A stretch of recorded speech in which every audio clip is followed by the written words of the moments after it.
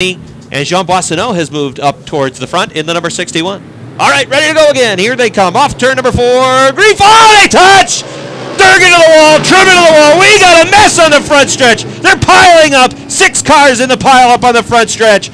And uh, quickly, Weasel Bruno gets out the yellow flag. We got Max MVN in the infield. The front row got together, coming down to take